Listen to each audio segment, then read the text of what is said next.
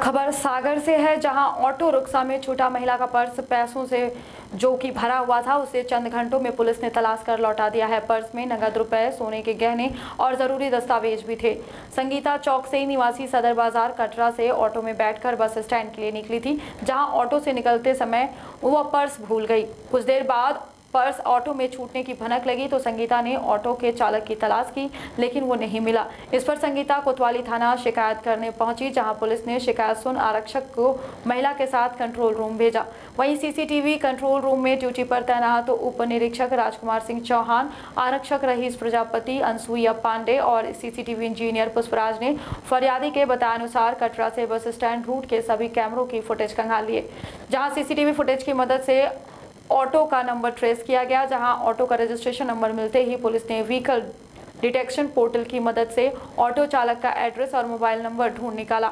जहाँ mobile number बंद आ रहा था, जिसके बाद आरक्षक ऋषिराज चौबे ऑटो चालक के एड्रेस पर पहुँचे। जहाँ ऑटो की तलाशी ली तो उन्हें पर्स ऑटो में ही पड़ा हुआ मिला। चालक को इसकी जानकारी तक नहीं थी।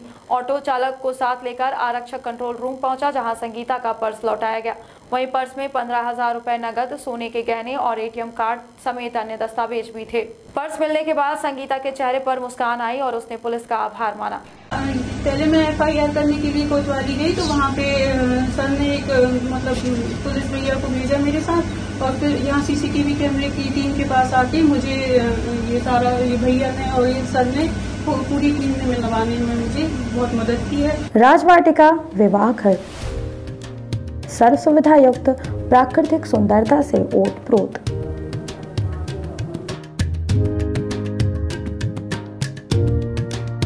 राजवाटिका विवाह घर में इंगेजमेंट तिलक, शादी रिसेप्शन वेडिंग शूट जन्मदिन पार्टी जन्माशा सहित अन्य कार्यक्रमों के लिए विवाह घर उपलब्ध।